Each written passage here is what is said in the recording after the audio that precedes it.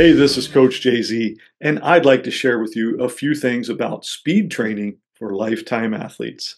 This amazing course is for anyone who wants to get faster. Maybe you're a former athlete and you need to recapture some of that old glory, yet you're not quite sure how to do that safely.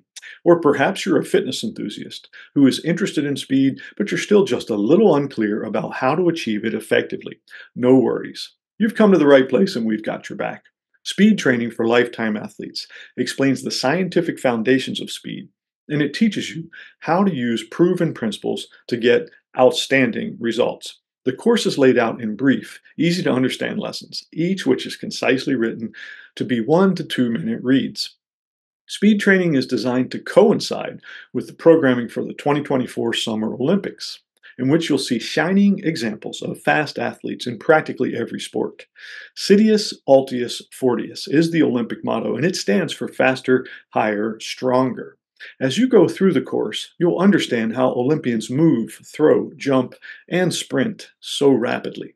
And you'll learn how to successfully apply speed to your own training. Speed training for lifetime athletes is exclusively available to members in the Lifetime Athlete app. Participants in the course receive unlimited support in the form of coaching and community involvement. Through our member submissions portal, you can submit a question, comment, photo, or video and receive expert feedback and advice. Additionally, app members can participate in our monthly online video conference meetings for even more guidance and camaraderie.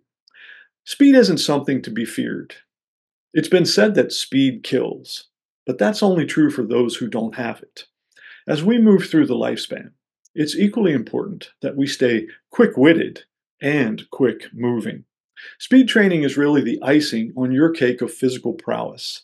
Let's embrace it together with speed training for lifetime athletes.